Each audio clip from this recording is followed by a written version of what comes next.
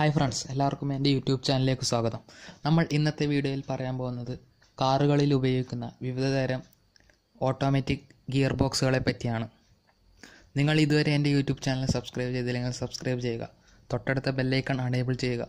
ഈ വീഡിയോ ഇഷ്ടപ്പെട്ടെങ്കിൽ ലൈക്ക് ചെയ്യുക. കൂടുതൽ പേർക്ക് ഷെയർ ചെയ്യുക. എങ്കിൽ നമ്മൾക്ക് വീഡിയോയിലേക്ക് കടക്കാം.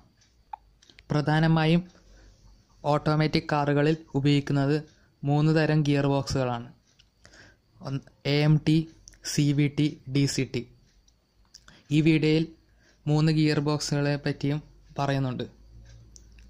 ആദ്യത്തേത് എ എം ടി അതായത് ഓട്ടോമാറ്റഡ് മാനുവൽ ട്രാൻസ്മിഷൻ ഇത് ഒരുവിധം വില കുറഞ്ഞ കാറുകളിലൊക്കെ ഉപയോഗിക്കുന്നതാണ് എ എം ടി ഇതിന്റെ പ്രവർ ഈ ഗിയർ ബോക്സുകളുടെ പ്രവർത്തനത്തെ പറ്റി പറയുന്നതിന് മുമ്പ് ഗിയർ ബോക്സിന്റെ പ്രവർത്തനം എന്താണെന്ന് അറിഞ്ഞിരിക്കണം. അതിനെപ്പറ്റി ഒരു വീഡിയോ മുമ്പ് ചെയ്തതാണ്. എങ്കിലും ഈ വീഡിയോയിൽ ഒന്ന് ചുരുക്കി പറയാം. ഗിയർ ബോക്സിന്റെ പ്രവർത്തനം. നമ്മൾ സാധാരണയായി ഗിയർ ബോക്സ് ഒരു വണ്ടിയുടെ ഗിയർ ഉപയോഗിക്കുന്നത് വേഗത കൂട്ടാനും കുറക്കാനുമാണ്. നമ്മൾ വാഹനത്തിന്റെ വേഗത കൂട്ടുമ്പോൾ ഗിയർ അപ് ഷിഫ്റ്റ് ചെയ്യും. അതുപോലെ തന്നെ വേഗത കുറയ്ക്കുമ്പോൾ ഗിയർ ഡൗൺ ഷിഫ്റ്റ് ചെയ്യും. എന്നാൽ ഇതിനുപരി ഗിയർ ബോക്സിന് പ്രധാന പ്രവർത്തനം ടോർക്കിനെ വേരി ചെയ്യിക്കലാണ്.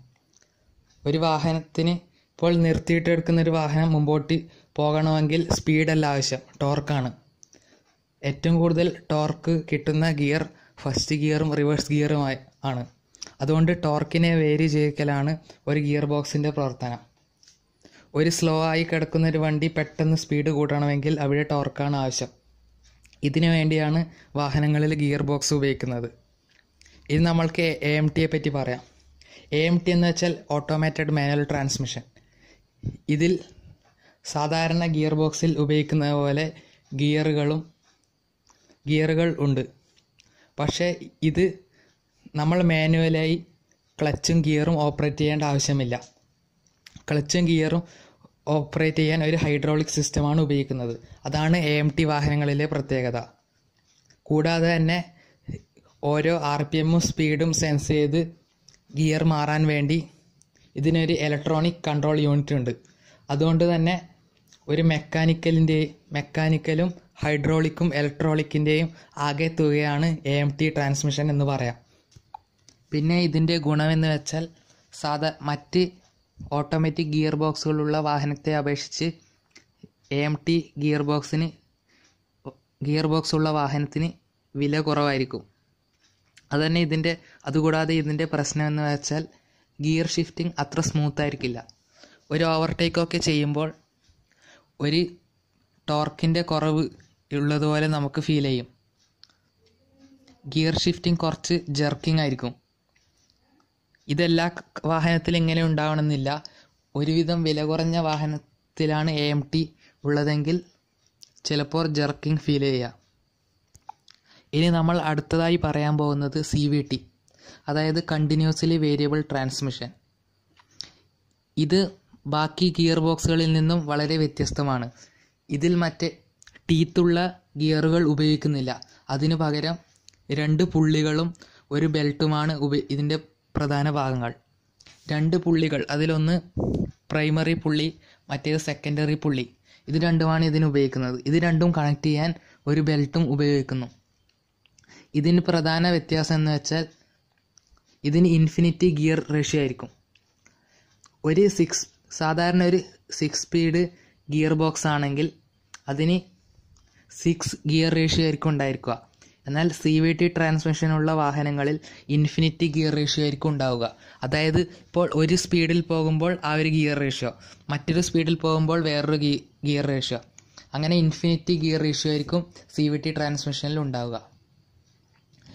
ഇനി ഇതിന്റെ പ്രശ്നം എന്ന് വെച്ചാൽ പ്രധാനമായും സി വി ടി ട്രാൻസ്മിഷനിൽ ഉണ്ടാകുന്നതാണ് rubber band effect rubber band effect എന്ന് വെച്ചാൽ നമ്മൾ പെട്ടെന്നൊന്ന് ആക്സിലേറ്റർ കൊടുക്കുമ്പോൾ എൻജിന്റെ ആർ പി എം കൂടും.